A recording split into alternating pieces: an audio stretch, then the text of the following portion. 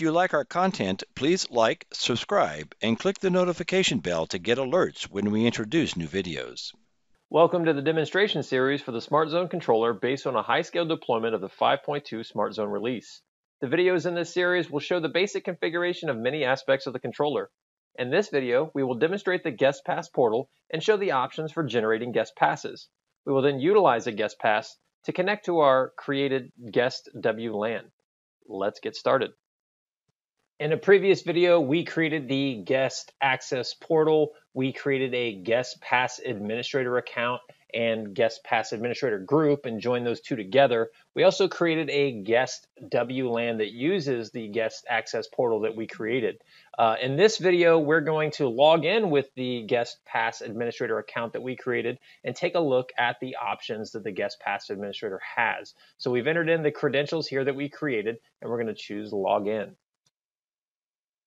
Logged in as the guest pass admin, we can see that we just have a small subset of the normal administrator options, uh, namely on the left-hand side, just clients, guests, and then two tabs. We've got access to the guest pass tab and the guest pass template tab. We're going to take a look at the guest pass template first.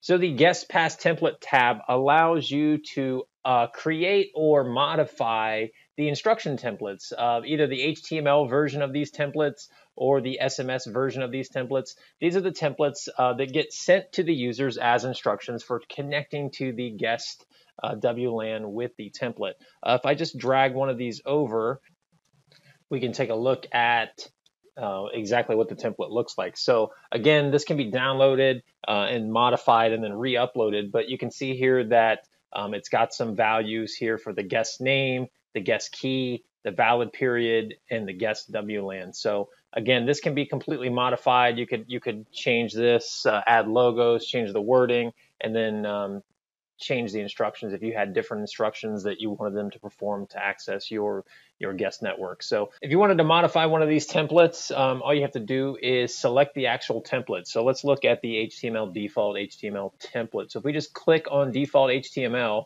we can see that we're actually given a preview of what this template looks like.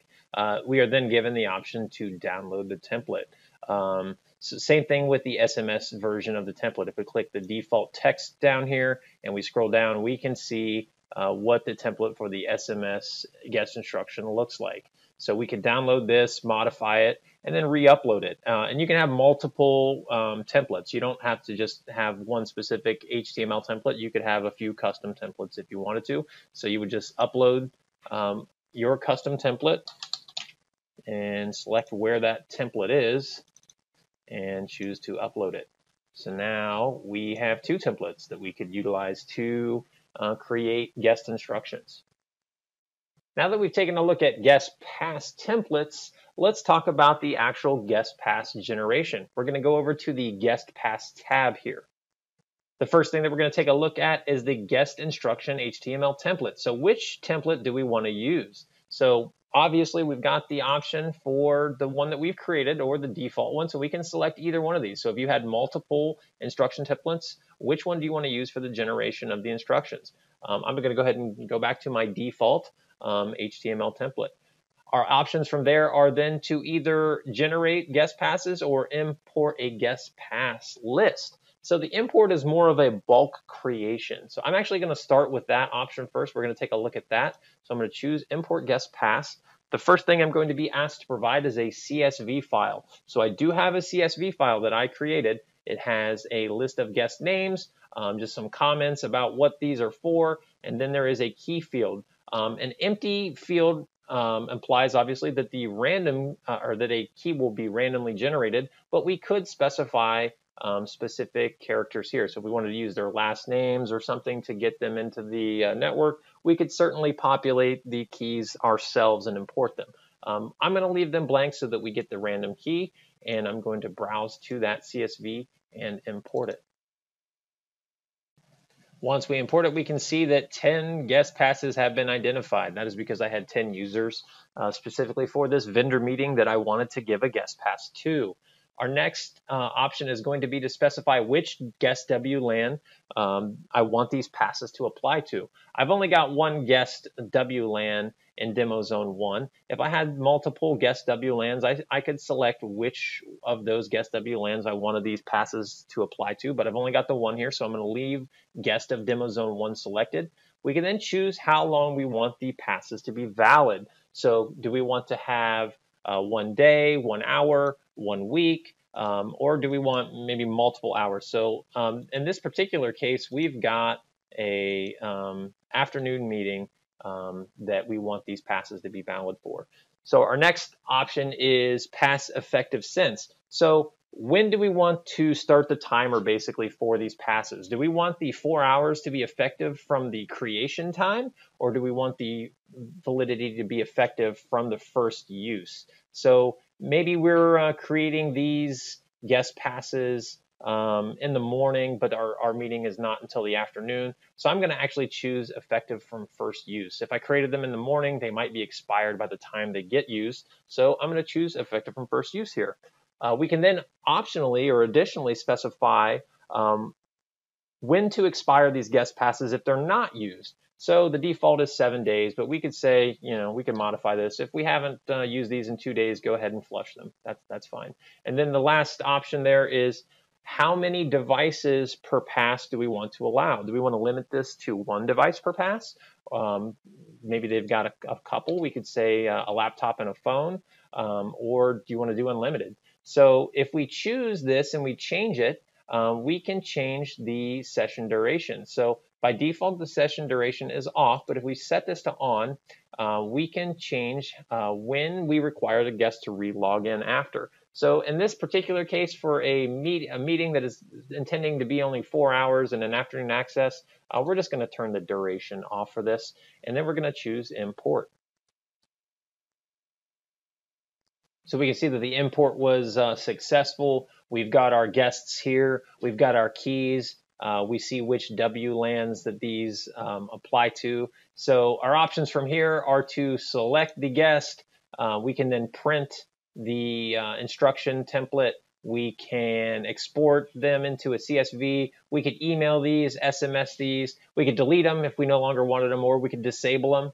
Um, so let's look at just the printed template. So I'm going to click print selected for Chris here, and then I'm going to bring over what this looks like. So Again, this is the template that we had specified for these. So we can see that this is specific to Chris S. We can see what his guest pass key is. We see how long it is valid and which network um, it is applying to. So in this case, this is exactly what we are looking for. Let's take a look at generating just guest passes without using the import process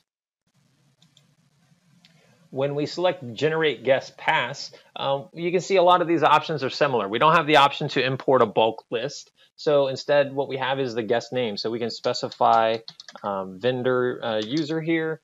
We can specify which WLAN that this would apply to, the number of passes that we're looking to create. Um, this one's important. So if we leave the number of passes to one, we can actually turn off the auto generate um, and specify our own pass value here. However, if we set this to multiple, um, it will automatically generate these for us. It does not give us the option to create the pass values. So I'm going to just leave this as one, and I'm going to specify a um, value of vendor one two three x y z. So that will be the pass um, value for our vendor user. We again get to pick when it's effective from. So is it from creation or the first use? How many devices are the, is this particular pass limited to? And then we can click generate. So now you can see that we've got 11 records. If we go to the next page, we can see vendor user and we can see our key here that we've specified vendor 123XYZ. So now that we've created some guest passes, let's take a look at the connection process into the guest WLAN. So I'm going to use a mobile phone to do this. So I'm bringing up the mobile phone and we can see that we've got a few networks available, one of them being guest. So we're going to select guest here. We're going to switch over to our browser.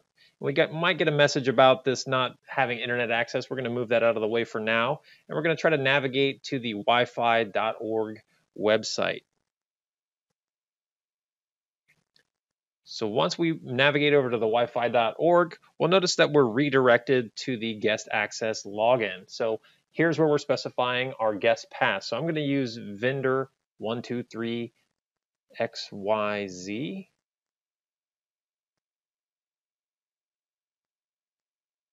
And then choose login you can see that they, we are then met with the terms and conditions. So we did modify these as part of the guest access portal. We're going to choose accept and continue. And then we see that we are successfully authenticated as a wireless guest. It says how long we're valid for, and then we are given the option to continue.